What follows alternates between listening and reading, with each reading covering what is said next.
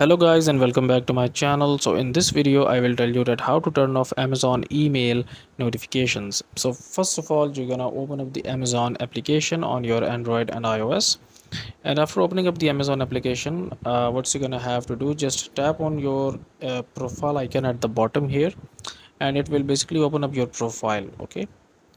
And then we're just gonna have to wait here until it loads up so after this uh, what you're gonna have to do is uh, you can see that we have like multiple different options here okay?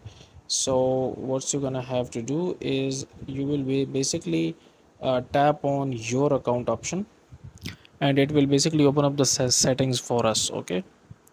So tap on your account option here and then you can see that uh, we have like multiple options here okay? So like in some regions there is the option of basically uh, like email notifications or communication okay in amazon okay? So you have to find that specific option here. And then you need to click on that option and then from there you can basically uh, like turn off the amazon email notifications uh, basically the offers notification that amazon sends to us okay? So in some region it is available and in some regions uh, you have to turn, turn, turn it off by opening up amazon.com uh, on, on your pc okay? So that's it for this video guys. If you find it useful kindly like this video and subscribe to my channel and i will meet you in the next video